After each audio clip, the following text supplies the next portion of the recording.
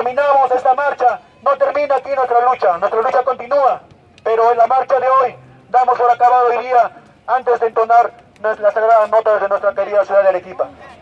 Por favor, todos fuerte, a la una, a las dos y a las tres.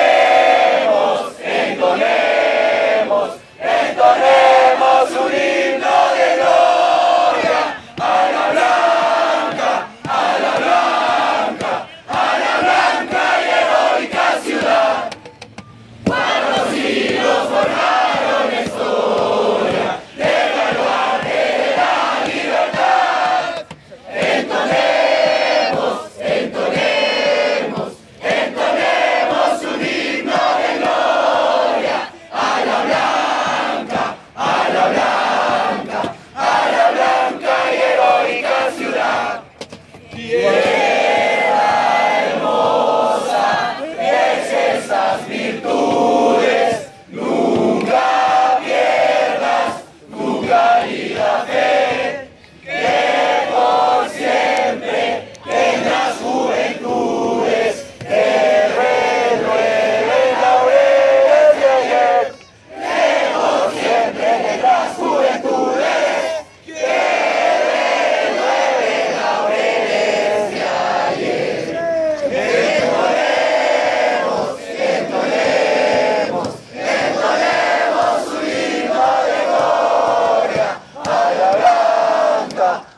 La blanca, a la blanca y heroica ciudad.